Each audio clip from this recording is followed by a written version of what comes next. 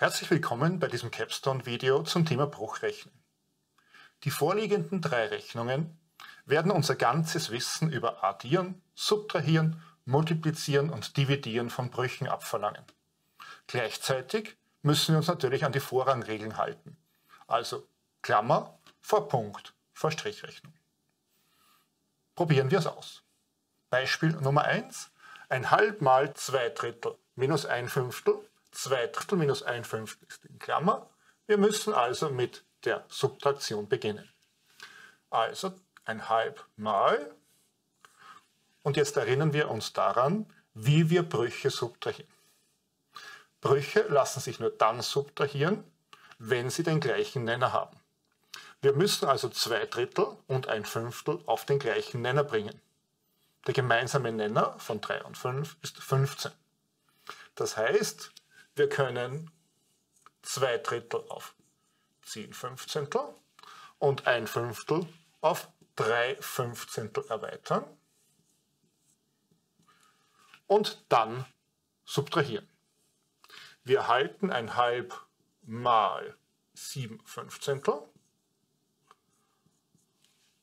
und müssen nun die beiden entstehenden Brüche multiplizieren.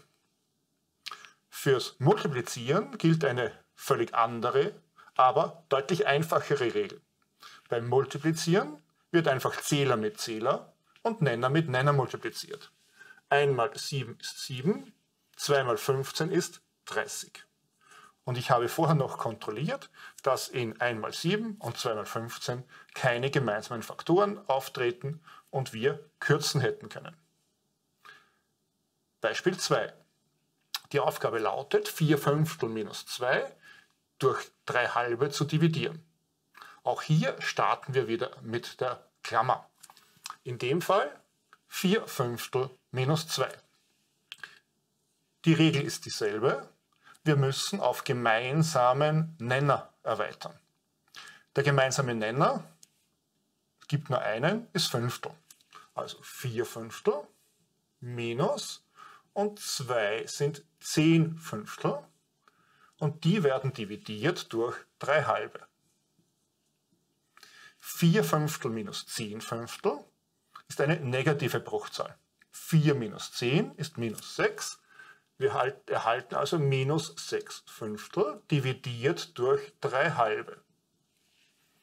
Wie dividieren wir aber nun durch eine Bruchzahl? Die Regel lautet, wir führen diese Division zurück auf eine Multiplikation. Also minus 6 Fünftel wird multipliziert mit dem Kehrwert von 3 halbe. Und der Kehrwert von 3 halbe ist 2 Drittel. Und bevor wir diese Multiplikation ausführen, versuchen wir noch zu kürzen. 6 und 3 lassen sich beide durch 3 kürzen. Wir halten 2 und 1 als Faktoren im Zähler und im Nenner. Und damit ist das Ergebnis 2 mal 2 durch 5 mal 1, also 4 Fünftel. Bleibt noch Beispiel Nummer 3. Auch hier gilt wieder Klammer vor der Punktrechnung, also vor der Multiplikation mit 1,5. Allerdings haben wir in unserer Klammer nun noch zusätzlich eine Multiplikation. Diese Multiplikation hat nun wieder Vorrang vor der Subtraktion. Wir müssen also zuerst 4 mal 2 Drittel rechnen. Eine ganze Zahl multipliziert mit einem Bruch multipliziert man am einfachsten so, dass wir den Zähler mit 4 multiplizieren. Wir erhalten also in einem ersten Schritt 6 minus 4 mal 2 ist 8, 8 Drittel und mal ein halb bleibt noch unangetastet. 6 minus 8 Drittel. Wir bringen wieder alle Brüche auf gemeinsamen Nenner, also hier auf Drittel in der Klammer. 18 Drittel minus 8 Drittel mal ein halb lautet also die Rechnung.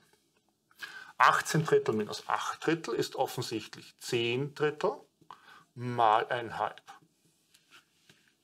Auch hier kürzen wir wieder, bevor wir die Multiplikation tatsächlich ausführen. 10 durch 2, 2 durch 2 gekürzt ergibt 5 und 1. Übrig bleibt 5 mal 1 durch 3 mal 1. Das Ergebnis ist also 5 Drittel. Und damit haben wir alle drei Rechnungen auch schon gelöst.